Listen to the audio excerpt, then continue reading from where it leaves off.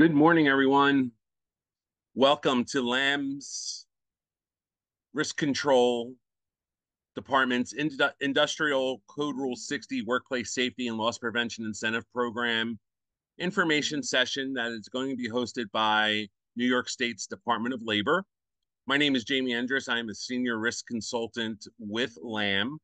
A little bit of brief information um, about today's presentation, some housekeeping information Everyone is going to be muted. If you have any questions, feel free to use the question and answer option. Chats are going to be muted as well until the end of the presentation.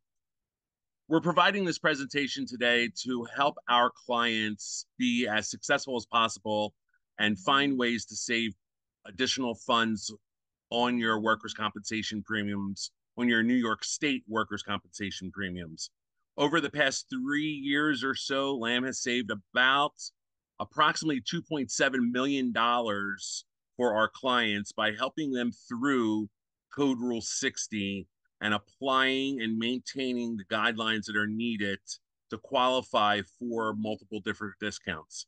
You're able to save up to 10% for the first year of the program and an additional 6% for the second and third years of the program as long as you maintain the qualification. And that's what we're here to do. We're here to help you do that. We're here to guide you through it. We're here to make sure that you're being as successful as possible from a safety perspective. At the end of this, we're going to ask you to look at your mods.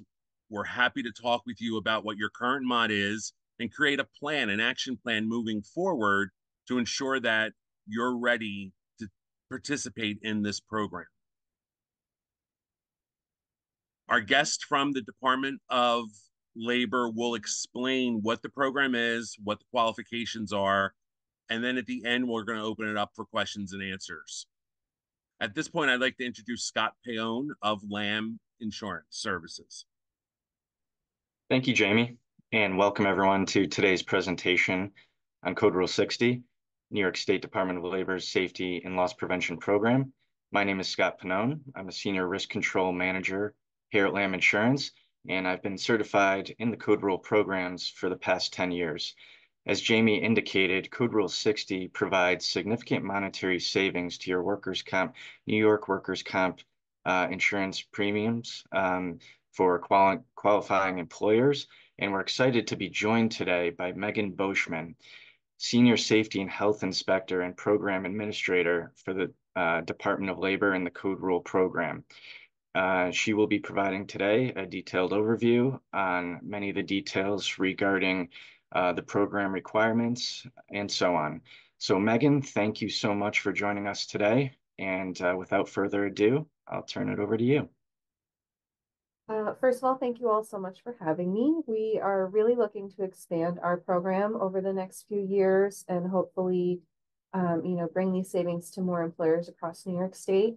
So um, we would love to have you apply if you meet the qualifications. And, um, you know, on top of Lamb being here to help you through the process, we are also here at the Department of Labor to help you uh, with any questions that you have.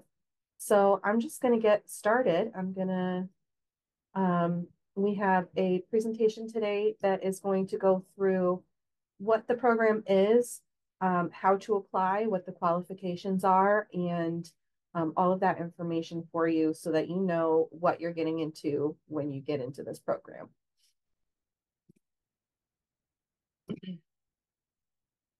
So the um, Code Rule 60 program, it's got a very long name, the um, Industrial Code Rule 60 Workplace Safety and Loss Prevention Incentive Program. We just call it Code Rule 60. It's much easier to remember that way. Um, it is a discount program. It encourages employers in the state to implement safety programs that will decrease your workplace injuries. Um, and it will also reduce your workers' compensation costs. This is, um, you know, when you are reducing your workplace injuries, you're making it a safer place for your employees to work.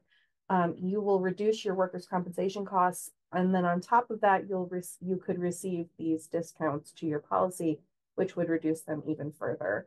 Um, employers can apply if they implement any of the following programs. We have a safety program, a drug and alcohol prevention program, and a return to work program.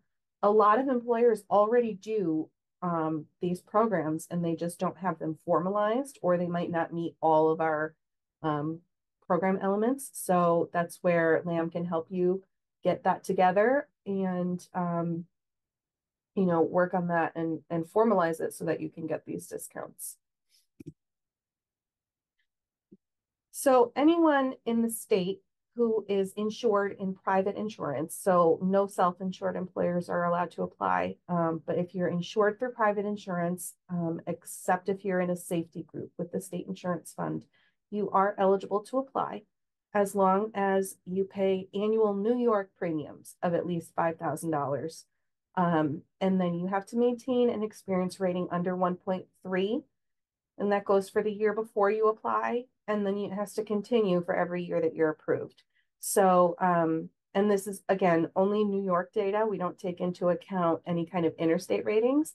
Um, as of October 2022, New York State no longer per, um, participates with the interstate rating system. So um, all of the ratings that we are going to see in New York State are New York State data only. Um, you are also, if you have to comply with the Code Rule 59 program, which is the mandatory safety and loss prevention program, um, you will get a notification for that. And you will have to complete that process before we can accept your application. And then you have to implement any one or more of the programs.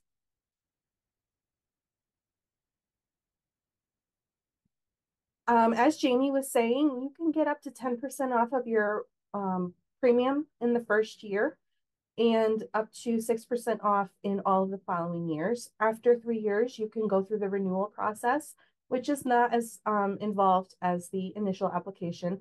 So, um, you know, that's the biggest time investment is the initial application. Um, after that, you are eligible again for up to 6% in each of the following credit years. Um, you can continue in this program as long as you continue to meet the qualifications. We have some employers who are in their, um, I think we're going into their 13th or 14th year in this program, and they've saved a lot of money. Their experience rating has gone down a lot. Um, they are a pretty safe workplace. They don't have a ton of accidents. Um, so, you know, it's it's a really great program to help you reduce your costs and keep your employees safe.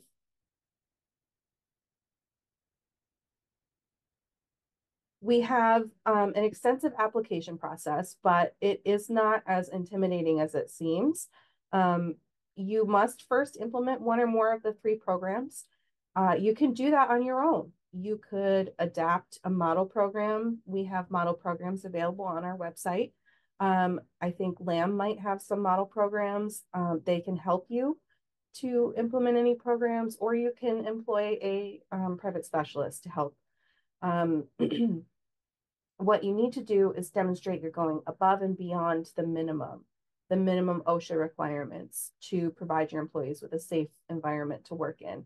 So um, we are looking on top of, you know, if you need a lockout tagout program, bloodborne pathogens, things like that, we're also looking for employee involvement and um, you know, extra training, um, employees being able to report hazards without fear of reprisal. There are um, a number of program elements that you would have to meet um, on top of just having your OSHA required programs and New York State required programs. And then once you have the programs in place, you would have an evaluation with a certified specialist. Um, we have a list on our website, and I know that Lamb has um, several folks who are um, approved to perform all three of the um, the program reviews. So the um, the safety, the return to work, and the drug and alcohol prevention program. They each have their own certification for the consultants. Um, but you know, you I, I believe Lambs have all three of the qualifications. The specialist then issues an evaluation report for each program. So if you're applying for all three programs, you will get three separate evaluation reports. If they make any recommendations, you must show that you've completed those before you apply. So um, when you get that report back, look and see if there's any recommendations. Um, complete those and send that evidence in with your application form. Um, you will submit a copy of the evaluation report along with the application form, which is available on our website. And then you'd also include copies of all of your program documents. So we want to see your safety programs. We want to see all of your, um, you know, if you have OSHA programs like bloodborne pathogens or lockout, tagout, or respiratory protection, we want to see those programs as well. Um, you have to demonstrate that you meet all of our program elements and it needs to be in your written programs. Um, and so we review everything on our end and that can take, right now it's taking um, 30 to 60 days. So it can take a little bit, but if we come back to you, we need any additional information, we'll give you about 30 days to send that in. Um, and then we will move forward from there. once we receive all of the documentation, so once we have all of your evidence that you meet the program requirements, we will schedule a remote verification meeting. This is usually done by Teams or WebEx or however um, you know the employer is able to do it. We can also do it by phone. Um, I may ask if they're not able to meet um, by Teams or something like that. I might ask for um, a list of employee phone numbers and get permission to speak with them. Um, and then ask questions just about the programs. We want to gauge employee familiarity um, and buy-in with the programs to make sure that it's not just a paper program that the employer has actually put in the work and the employees are aware. Um, so it's, you know, it's not really, it's not a quiz. It's just show us that you've put in the work. Uh, if we can't get enough information, we may go on site. We do have that ability. We um, it's part of the regulation, so we may come in and do um, a physical inspection. We may come in and talk to your employees. Um, or we may just not um, move forward with the application if we can't get the right information or, or it's clear that the that the programs are not actually active. Um, and then if we get to this stage, it doesn't guarantee approval because sometimes in the past, um, not with Lamb clients because they're really good at getting all the documentation needed, but we have had employers who applied and um, their employees couldn't answer any questions about the programs. They didn't know what the programs were. And, um, you know, it's clear that they have the written programs, but they haven't actually implemented them with their employees. So that's what we want to see. We want to see that you are actively using these programs. After this meeting, I will complete a final review report. Um, I will, you know, document the the information that you've sent in. I will document our conversation, um, any specific notes that will be relevant, and I send that up to our um, program manager for approval for, you know, final determination.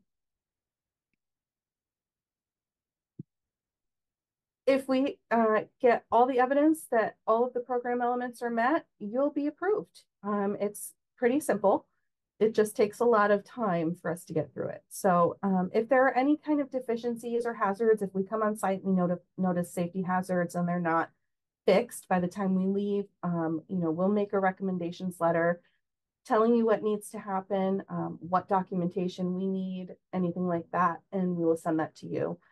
Um, we never deny an application. We don't want you to take a recommendations letter as a denial because we really want you to fix those things and come back and continue the process and get approved. Um, we would really, we, we would really love to have more employers in this program. So, um, you know, we are always happy to work with employers if there are any deficiencies or hazards or anything like that, that, that we don't feel um, means that you're quite ready for the program, but we do want you to come back and complete the process. You've already put in the work. Let's finish it. Let's get you over that last hurdle. And we're always happy to help with that.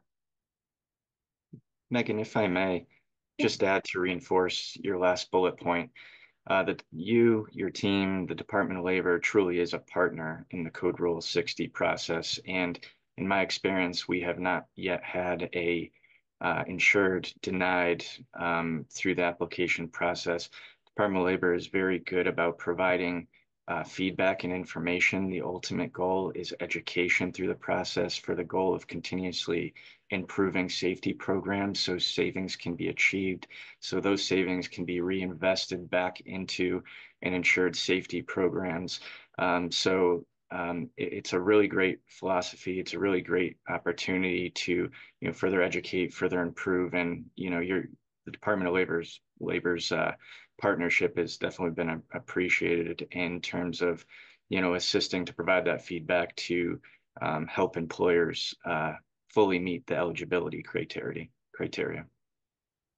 Thank you, Scott. We work really hard to, um, you know, really work with these employers. We want employers to be safer for their employees. And, you know, if saving you money in the long run is going to help, we're, you know, we're really happy to do that. So feel free. Any questions, anytime you want to talk about the program or talk about anything, please feel free to contact us because we are always happy to help. Um, if you decide you'd like to apply, we prefer the applications are sent by email. Um, most folks send them just by zip files. You can send them in multiple emails if it's needed. Um, we do get some programs that are, you know, over 700 pages and then they have 600 pages of documentation. So they send them over five or six emails. That's totally fine. Um, but you can also mail them if it's too much. Um, you can send them to the email address that's on your screen, wslpip at labor.ny.gov.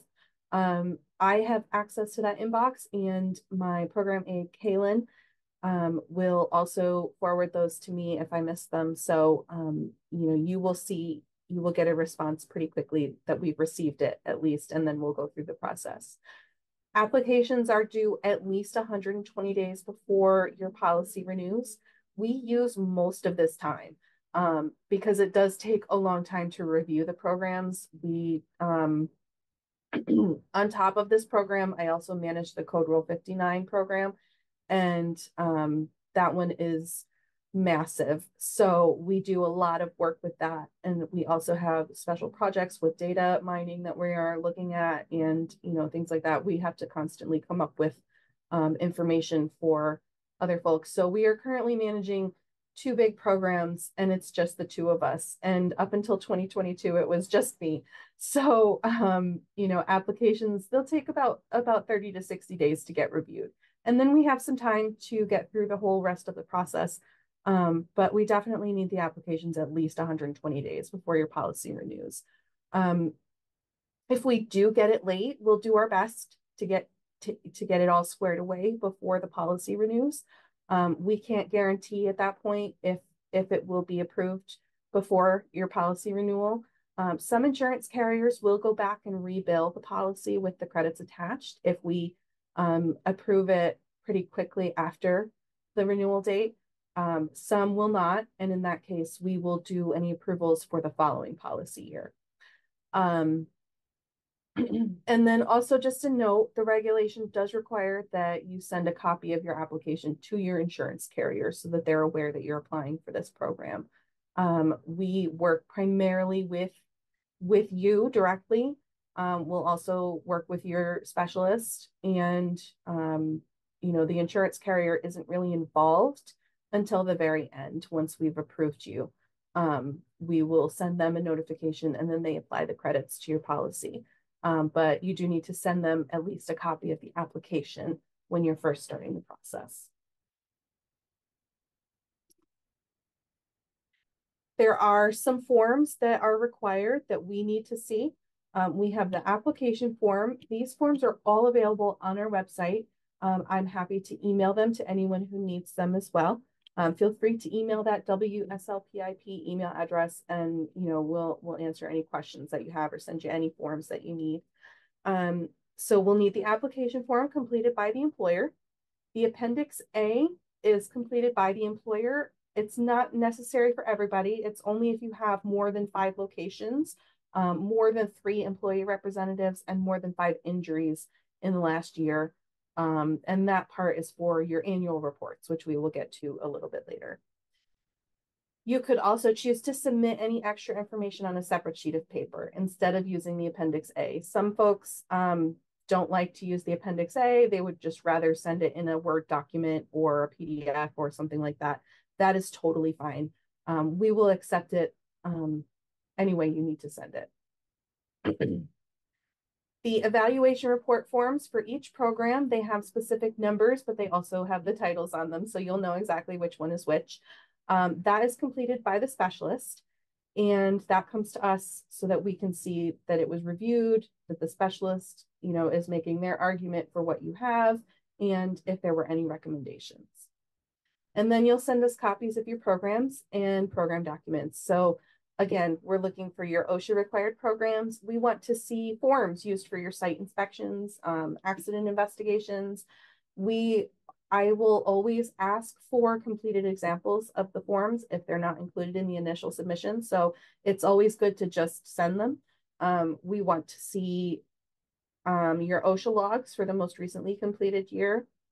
And then training records we might ask for if, you know, we're not sure about how frequently you train, or, you know, we want to make sure that lockout tagout was trained on this year, or, um, you know, that you've filled, that you've trained everybody who needs to use a, a powered, powered industrial truck, um, you know, things like that. We might ask for those records as well. Um, basically, the more information you can send us to show us that your programs are working, uh, the better. It will take us less time to go back and forth, and we'll be able to see very quickly that your programs are effective. So our review process, again, we get the application, we review all of the documents. Um, we give you 30 days if we need additional information. If there's enough time left, so we'll give you another 30 days if it doesn't get us all of the information we need. Um, sometimes people will, sometimes employers will send us half of the information we need and we'll go back and say, hey, we still need this information. Can you send it? Um, we might not have enough time for that. So if we don't, we'll usually go to a verification meeting um, where I will ask those questions and try to gauge the response from the employees and things like that. Um, alternately, if it's very clear that nobody knows what is going on, um, we'll send a recommendations letter. Um, I don't think I've had to do that with Lamb employers. They're they're usually pretty good about getting all the documentation we need. So um, I wouldn't worry about that. We will we will also help walk you through the process too. That's a very rare occurrence that we don't even do the verification meeting. So um, the meeting is performed by a DOL inspector. That's me. Um, I'm the only one who's doing it right now. I am going to hopefully be training um, a few other inspectors from the Safety, Health, and Essential Rights Unit, which is part of the unit that we are in now. Um, so hopefully we will have some backup and other folks to help us get through that. But right now it's just me. Um, so I will ask to speak with several frontline employees. I want to talk to the employees doing the work. We want, I want to see that the employees doing the work know their safety requirements, know their responsibilities, and know how to keep themselves and their fellow employees safe um, that they've been trained, that they um, are, are free to share their concerns with management, um, that they're part of the safety committee, that they have an active role in the programs. Um, I will also ask to speak with the program contacts. Um, they're usually involved in the meetings. Um, safety committee meeting members will, will join in too.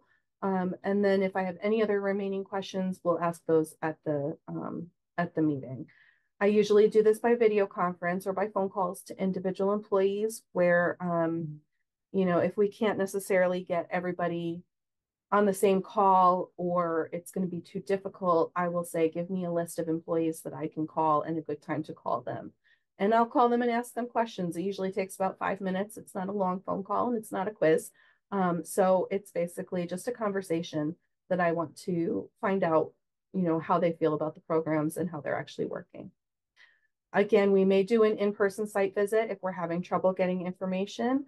Um, you know, we used to do this and we lost the staff to do it. So um, we are hoping to get back out in the field and continue doing in-person face-to-face conversations. But um, for now, we're doing the video meetings. But if I have to, I will go out wherever I need to go to, um, you know, get a clearer response if needed. And then I complete my report, which we use in the determination. When you're approved, you'll get an approval letter and a certificate for each program. Um, so the letter will list all of the programs you're approved for along with your certification numbers. Um, it will list due dates for annual reports and your renewals. And um, it will be sent to you, your insurance carrier, and the specialist. I will also mail a copy of the letter to the insurance carrier, and we also send them to the Department of Financial Services, who is responsible for monitoring, um, you know, how many employers and which employers are involved in the program every year. Every year, an annual report is required, which is basic information about your programs um, and how they're performing each year. And then at the end of the three-year period, we can you can choose to renew your your your approval. Um, it has to be submitted at least 90 days prior to your policy renewal date. And that's at the end of the third year. So we send out reminders also about 30 days ahead of time for your annual reports and your renewals.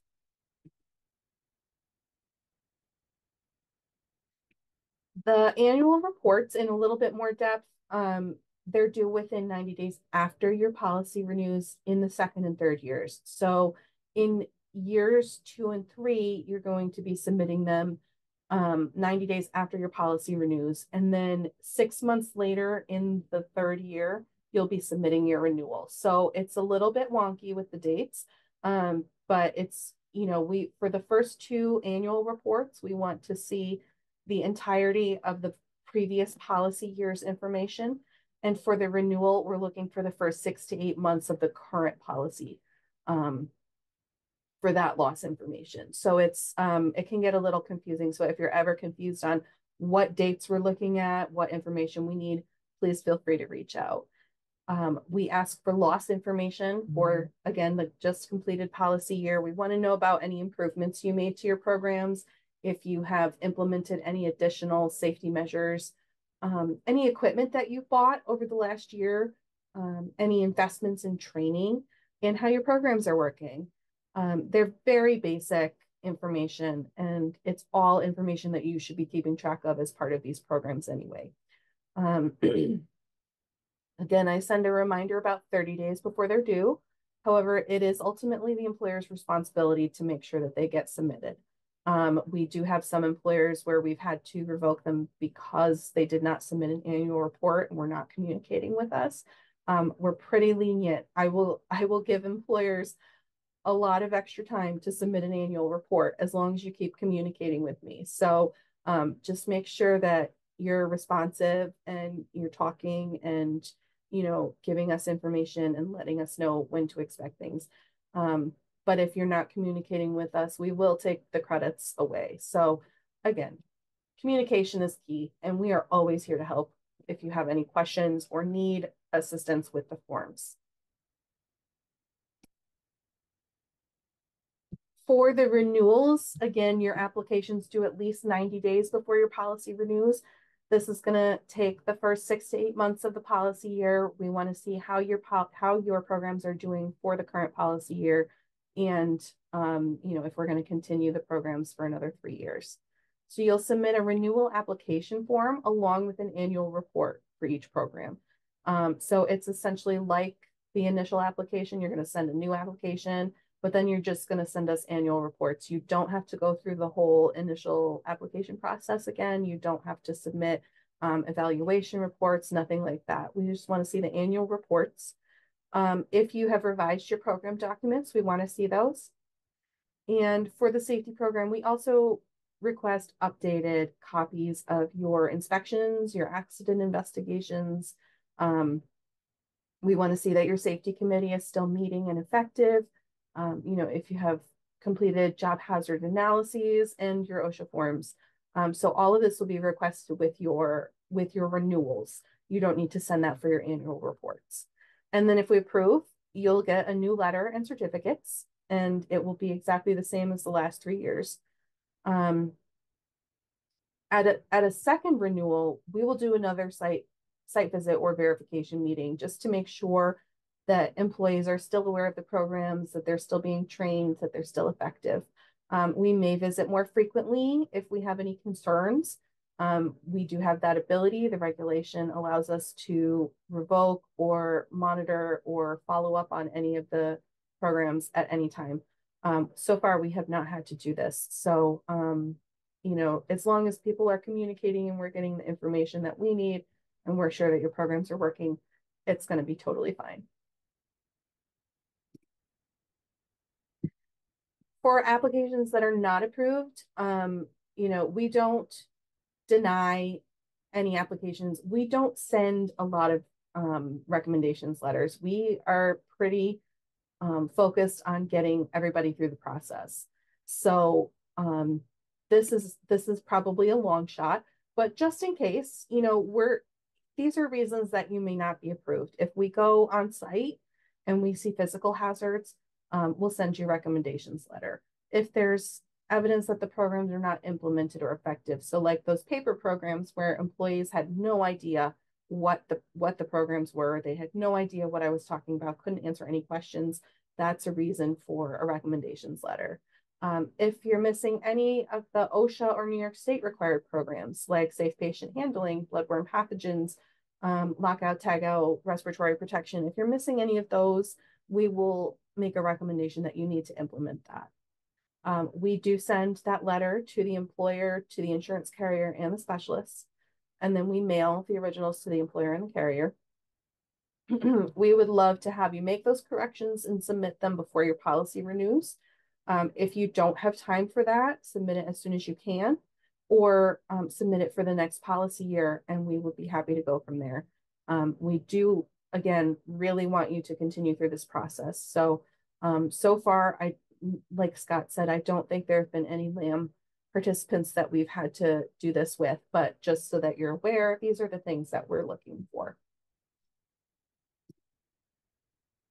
We have had to revoke credits in the past. Unfortunately, um, they can be revoked if um, you don't submit an annual report and you're not talking to me about it and I can't get in contact and nobody's sending anything. Um, if you have, if your experience rating hits 1.3 or goes above it in any approval year, we have to revoke the credits. Unfortunately, you would not qualify at that point. Um, so you would have to reapply once the um, experience rating is under 1.3 for at least one year. Um, if your rating is calculated at 1.3, um, but it's an error. Um, once it's revised below 1.3, we will reinstate the credit. And we have had that happen before where um, incorrect loss data was submitted to the rating board um, who calculates the ratings. And um, once it was revised, we were able to reinstate that credit and get the employer participating again. Um, also, if we determine that your program is not no longer implemented or effective, um, or if the program has been revised to not meet the requirements of the workplace safety and loss prevention program. So if you take out any of the elements in your program that are required as part of our um, part of our program, like for example, if you take out um, if you had a safety committee and that was the only way that your employees were actively involved in the programs and you get rid of the safety committee, that's going to be a reason for um, revoking the credits. we'll mail the revocation letter um, to the employer, the carrier, and the Department of Financial Services. Uh, the credit would be removed from the policy effective the date noted in the letter. And we do encourage you to reapply when you qualify again. So once you once you meet that under 1.3 for at least a year, we would love to have you back. Um, if it was if your credits were revoked because you didn't submit an annual report and weren't talking to us, reapply the next the next policy year, and we would be happy to work with you again. Um, communication is key. We really just want to keep you involved. We want to keep your employees safe.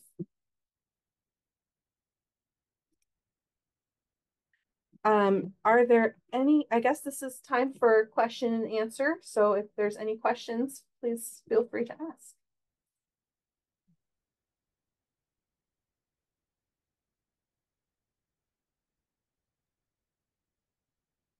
Megan. Chris Dunlap um, earlier had a question uh, for you. Is there a workers' comp deductible threshold for an employer to be considered self-insured? Um, you can have a workers' comp deductible if self if you have that self-insurance, but it would only count the credits would only count towards your private insurance policy. So um, we would only we would only be interested in the private insurance policy information. Um, it wouldn't apply to anything to do with your with your private insurance.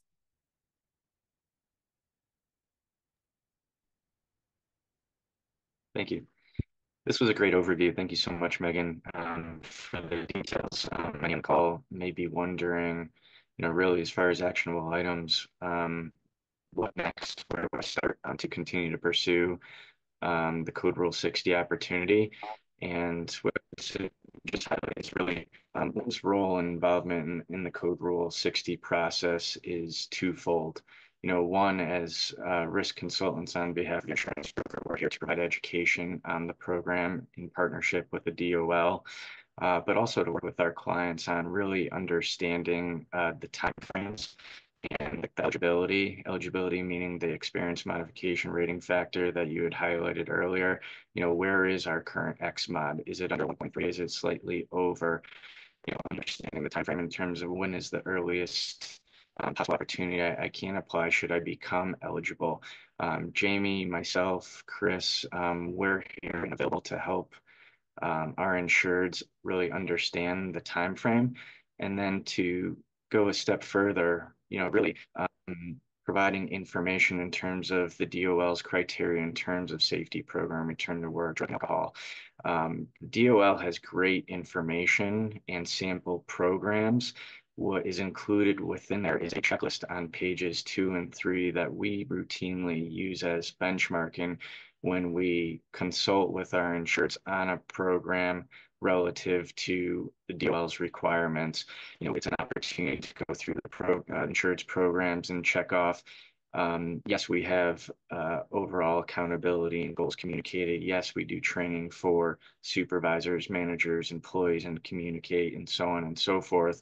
And, you know, really provides that benchmarking in terms of where are the gaps and then Lamb is able to provide some resources and guidance to close those gaps to become eligible. The second half of our role um, is are, are, as certified specialists. Uh, the three of us are certified um, to further evaluate and explain via the reports to the Department of Labor, to the insurance carrier, how each employer meets each of their program elements and we offer this service at no cost. Our, our clients are nonprofit and human service organizations.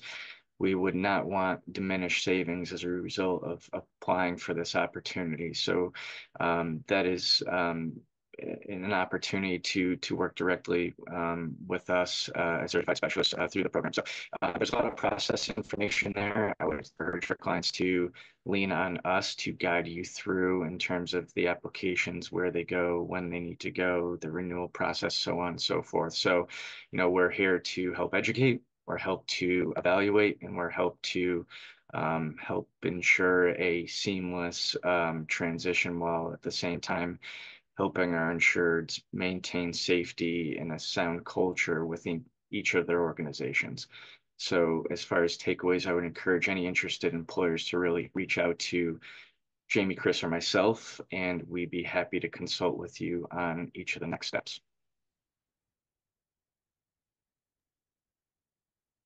Real quick, we did have a question uh, come in is uh, what percentage can you save if you meet all the code 59 requirements?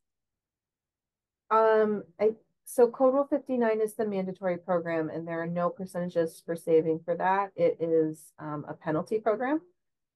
Um, but for code rule 60, I, I, if that's what the attendee meant, um, Again, it's up to 10% in the first year if you implement all three programs. Um, if you implement just one or two, um, it varies. The safety is, is worth 4% in the first year, and return to work is also worth 4 in the first year. Um, and then the drug and alcohol prevention is worth 2%. So um, up to 10%, in the first year and then up to six percent in each of the following years.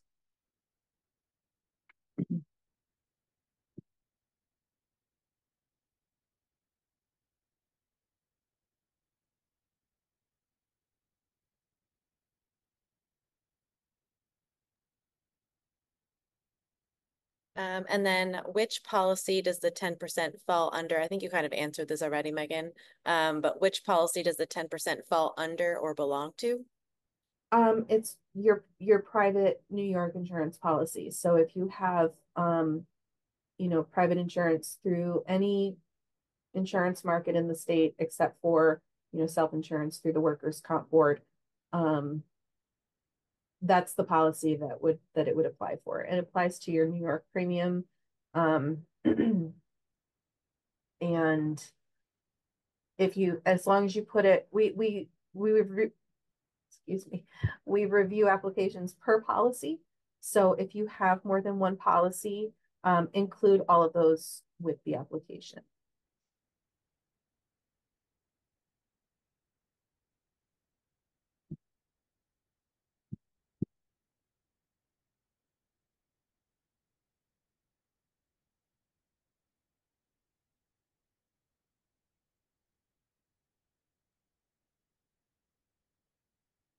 Any other questions, comments? Obviously, if anything comes up after this session, feel free to reach out to one of us. We're more than happy to provide additional information if needed.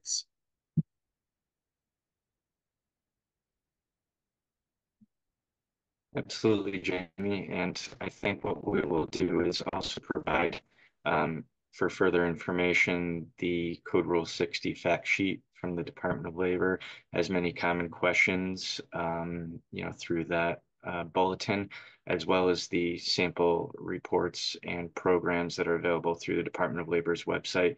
It references the checklist that we mentioned, in addition to further um, guidance in terms of the criteria and eligibility.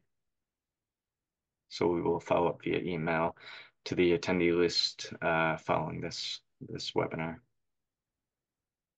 And please feel free to reach out to us at the DOL too if you have any questions, if you're confused about anything, if you just need help, we're happy to help.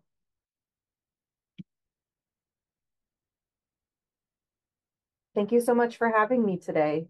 I had a good time talking about the program. Megan, thank you for your time. We appreciate it speaking with our clients.